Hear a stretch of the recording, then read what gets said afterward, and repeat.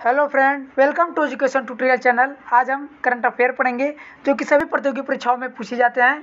और ये लेक्चर आपके लिए बहुत ही महत्वपूर्ण है, क्योंकि इसमें हम कुछ महत्वपूर्ण प्रश्न कवर करेंगे।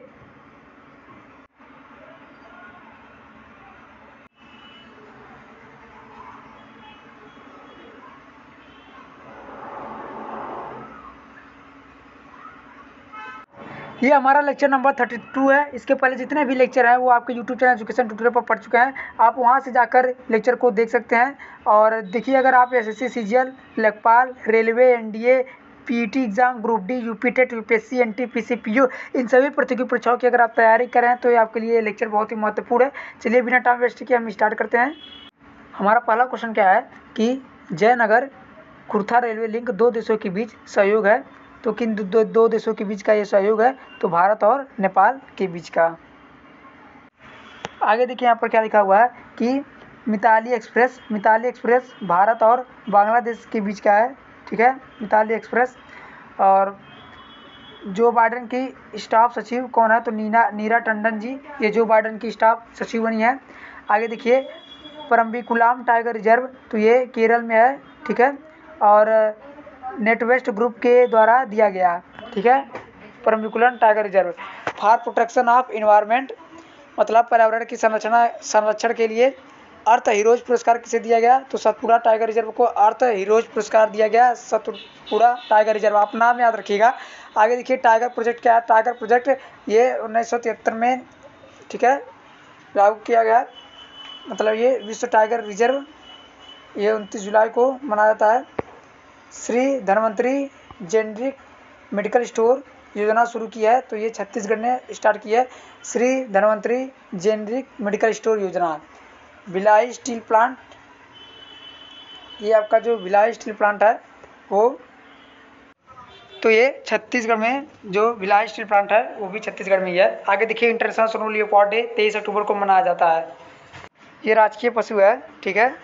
यहाँ का क्या क्या नाम है? लद्दाख का। आगे देखिए क्या लिखा हुआ है कि high speed expendable aerial target Abhyas को किसने डिज़ाइन और विकसित किया तो डीआरडीओ ने high speed expendable aerial target Abhyas को डिज़ाइन और विकसित किया है। आगे देखिए क्या लिखा हुआ है कि Indian broadcasting and digital foundation I B D F I B D F का फुल फॉर्म है। Indian broadcasting and digital foundation का अध्यक्ष चुना गया किसे? के माधवन को इसका अध्यक्ष चुना गया आगे देखिए यहाँ पर क्या लिखा हुआ है कि नूरी रॉकेट किस देश से संबंधित है? तो दक्षिण कोरिया ने एक अपना स्वदेशी रॉकेट लॉन्च किया है, जिसका नाम है नूरी रॉकेट, लेकिन वो रॉकेट असफल रहा, ठीक है? आगे देखिए, यहाँ पर क्या लिखा हुआ है?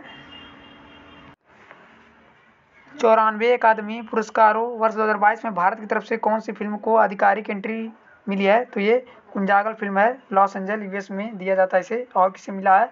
अब कुंजागल फ़िल्म को मिला है, और इसके डायरेक्टर कौन है? तो विनीत विनोद राज हैं। आगे देखिए यहाँ पर। 24 अक्टूबर 2021 को किसने अपना साठवां स्थापना दिवस मनाया है? आईटीबीपी आईटीबीपी ने मनाया है अपना साठवां स्थापना दिवस। सीआरपीएफ की स्थापना उन्नीस में हुई। असम राइफल इसका मुख्यालय शिलोंग में है। आइस हॉकी ट्रॉफी, ये लद्दाख के अंदर स्थापना हुआ। आईटीबीपी ने इसे जीता है। आगे देखिए, गरुड़ ऐप किसने लॉन्च किया? तो भारत निर्वाचन आयोग, इलेक्शन कमीशन ने गरुड़ ऐप लॉन्च किया। ठीक है, बहुत ही महत्वपूर्ण प्रश्न है। प्रश्न आ सकता है कि गरुड़ ऐप किस मंत्रालय के द्वारा सॉरी किसके द्वारा लॉन्च किया गया? तो भारत निर्वाचन आयोग के द्वारा। मतदान केंद्र भी डिजिटल मैपिंग, ठीक है? मतदान केंद्र की ये डिजिटल मैपिंग करेगा गरुड़ ऐप। भारत निर्वाचन आयोग की स्थापना 25 जनवरी 1950 में। पहले मुख्य निर्वाचन आयुक्त सुकुमार सेन, ठीक है, महिला में कौन है? तो रमा देवी पहले सब मुख्य निर्वाचन आयुक्त हैं। भारत निर्वाचन आयोग में वर्तमान किस, कितने सदस्य हैं? तो भारत निर्वाचन आयोग में कुल वर्तमान वन प्लस टू टोटल तीन सदस्य हैं। एक तो सुशील चंद्र ये हेड है, अनूप पांडे, राजीव कुमार। ये भी बहुत ही महत्वपूर्ण प्रश्न है कि भारत निर्वाचन आयोग, भारत निर्वाचन आयोग में वर्तमान में कितने सदस्य हैं? तो केवल तीन सदस्य हैं। आगे देखिए यहाँ पर क्या लिखा हुआ है। विश्व पोलियो दिवस कब मनाया जाता है। विश्व पोलियो दिवस चौबीस अक्टूबर को मनाया जाता है। वैज्ञानिक साल के ने विकसित किया। जो वैज्ञानिक साल के नाम के वैज्ञानिक थे, उन्होंने ये विकसित किया और विश्व पोलियो दिवस चौबीस अक्टूबर को मनाया जाता है। पोलियो वायरस से होता है। जो पोलियो होता है, वो बैक्टीरिया से नहीं, वायरस से होता है। तंत्रिका तंत्रिकता को प्रभावित प्रभावित करता है ये। और क्या भारत पोलियो मुक्त देश है? जी हाँ भारत पोलियो मुक्त देश है। केवल दो देश हैं जो पोलियो मुक्त नहीं है। पाकिस्तान है और एक अफ़गानिस्तान है। इसीलिए जब अफ़गानिस्तान से लोग आ रहे थे भारतीय तो उन्हें पोलियो की वैक्सीन दी गई। टीका उन्हें दिया गया। आगे देखिए, टिटनेस, ये बैक्टीरिया से होता है, यहाँ पर लिखा हुआ है। स्मॉल पॉक्स का टीका किसने खोजा? सबसे पहले स्मॉल पॉक्स का टीका खोजा गया और इसे एडवर्ड जेनर ने खोजा। बीसीजी का फुल फॉर्म है बसीलस कॉलमेट गुरीन, ठीक है? टीबी का टीका है ये बीसीजी आगे देखिए, भारत का पहला स्वदेशी विमान वाहक पोत, ठीक है? ये एयरक्राफ्ट को अपने ऊपर लेकर पानी में चलेगा, जहाज़ है, स्वदेशी पोत है। आई एन एस विक्रांत नाम है इसका। आई एन एस राजपूत को कहाँ डी कमीशन किया गया? आई एन एस राजपूत को कहाँ डी कमीशन किया गया? तो ये विशाखापट्टनम में जिसे डी कमीशन किया गया, और राजा करेगा राजपूत, ये इसकी टैगलाइन है, राजपूत राजा करेगा राजपूत। आगे देखिए, पोलियो दिवस की थीम तो ये delivery on a promise delivery on a promise ये पोलियो दिवस की थीम थी 2021 की। आगे देखिए, यहाँ पर क्या लिखा हुआ है कि भारत का पहला बैलिस्टिक ट्रैकिंग शिप तो ये बैलिस्टिक ट्रैकिंग शिप जो है वो ध्रुव है। और आगे देखिए, कौन सा शिप स्वेज नहर चैनल में फंसने के कारण चर्चा में रहा है? तो ये एवर गिनेज जहाज़ है, जो कि स्वेज नहर चैनल में फंसने के कारण ये चर्चा में रहा। और वर्ल्ड बिगेस्ट मालवाहक जहाज़ था ये एवर गिनेज जहाज़। ये सिप स्वेज नहर चैनल में फंसने के कारण चर्चा में रहा। आगे देखिए क्या लिखा हुआ यहाँ पर। अक्टूबर 2021 फीफा। फीफा का मुख्यालय है स्विट्ज़रलैंड में। रैंकिंग रैंकिंग इसकी क्या है? पहला देखो, रैंकिंग जो है मतलब फीफा में, फीफा जो फुटबॉल से संबंधित है, उसमें फ़र्स्ट रैंक पर कौन सा देश आया है? तो फ़र्स्ट रैंक पर बेल्जियम, सेकंड पर ब्राज़ील और 106 रैंक है भारत का इसमें। आगे देखिए, अक्टूबर 2021 में किस राज्य में प्याज की नई प्रजाति एलियम नेगेयनम खोजी गई? तो ये उत्तराखंड में खोजी गई, ठीक है? सफ़ेद प्याज का जीआई टैग किस राज्य सरकार को मिला है? महाराष्ट्र को।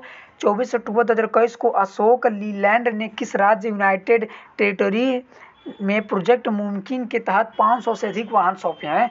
तो अशोक लीलैंड ने, ठीक है, किस राज्य को? तो ये जम्मू कश्मीर प्रोजेक्ट मुमकिन, ये देखिए, ये नाम याद रखिए, प्रोजेक्ट मुमकिन के तहत पूछा जा सकता है। भी प्रश्न, किस मुमकिन के तहत जम्मू कश्मीर को अशोक लीलैंड ने 500 से अधिक वाहन सौंपे हैं? तो प्रोजेक्ट मुमकिन है और ये भी प्रश्न आ सकता है कि अशोक लीलैंड ने किस राज्य या फिर केंद्र शासित प्रदेश में प्रोजेक्ट मुमकिन के तहत पाँच सौ से अधिक वाहन सौंपे हैं? तो जम्मू कश्मीर है। आगे देखिए भारत का पहला हाइड्रोजन मोबिलिटी प्रोजेक्ट कहाँ चला गया? तो ये लद्दाख में चला गया। भारत का पहला हाइड्रोजन मोबिलिटी प्रोजेक्ट लद्दाख में चला गया। हाइड्रोजन बसें चलेंगी यहाँ पर। पिंक प्रोटेक्शन कहाँ चला गया? तो ये महिला सुरक्षा के लिए चलाया गया, ठीक है? और आगे यहाँ पर देखिए, अक्टूबर 2021 में भारत का पहला वन्य जीव डीएनए प्रयोगशाला का उद्घाटन कहाँ किया गया? तो नागपुर में किया गया। DNA DNA, N A N for Nagpur. ठीक है, आप लोग ऐसे याद रखिएगा, डीएनए का पहला वन्य जीव प्रयोगशाला का उद्घाटन नागपुर में किया गया। प्रधानमंत्री आत्मनिर्भर स्वस्थ भारत योजना P M A S B Y की शुरुआत वाराणसी, उत्तर प्रदेश में की गई और जिस दिन पर, ये आत्मनिर्भर स्वस्थ भारत योजना की शुरुआत की गई, उसी दिन ही उत्तर प्रदेश में नौ मेडिकल कॉलेज का लोकार्पण किया गया। माननीय प्रधानमंत्री नरेंद्र मोदी की जी के द्वारा सिद्धार्थ नगर में इसका लोकार्पण किया गया, नौ मेडिकल कॉलेजों का और ये आत्मनिर्भर स्वस्थ भारत योजना की शुरुआत वाराणसी, उत्तर प्रदेश में से स्टार्ट की गई। ग्राम उजाला योजना, ये आरा बिहार से स्टार्ट हुआ उसमें एलईडी बल्ब वितरण किया जाएगा। मित्रा स्कीम ये सात टेक्सटाइल पार्क हैं। Sixty seven national award Chhichhore Hindi फ़िल्मों को दिया गया और इक्यावन दादा साहब फाल्के अवार्ड ये ये इन्हें रजनीकांत जी को दिया गया और सड़सठ नेशनल अवार्ड ये छिछोरे हिंदी हिंदी फ़िल्म छिछोरे को दिया गया, जो कि ये फ़िल्म सुशांत सिंह राजपूत जी का था। जिनका निधन हो गया। सर्वश्रेष्ठ फ़िल्म फ्रेडली स्टेट, ये सिक्किम की है और नाइन्टी टूवा ऑस्कर अवार्ड, बानवा ऑस्कर अवार्ड, ये पैरासाइट 2020 को मिला। आगे देखिए, ट्रेजिडी किंग के नाम से कौन विख्यात है? दिलीप कुमार, ये ट्रेजिडी किंग के नाम से जाने जाते हैं। Statue of Peace. देखिए, ये स्टैचू ऑफ़ लिबर्टी नहीं ये स्टैचू ऑफ़ पीस है, स्टैचू ऑफ़ लिबर्टी तो आप गुजरात मार मार्क, गुजरात पर निशान लगाते लेकिन ये statue of statue of peace है तो ये पाली राजस्थान में है, इक्कीस वर्ष से अठारह वर्ष, ठीक है, ये एक इकसठवां संविधान संशोधन था, ये क्या है, इक्कीस वर्ष अठारह वर्ष तो ये आप वोट डालने जाते हैं तो ये पहले इक्कीस वर्ष था वोट डालने के लिए, अब अठारह वर्ष कर दिया गया तो इकसठवां संविधान संशोधन में है ये, और जीएसटी तो एक सौ एकवां संविधान संशोधन। और उन्नीस सौ छियासी में पर्यावरण संरक्षण नियम आया। Thank you friend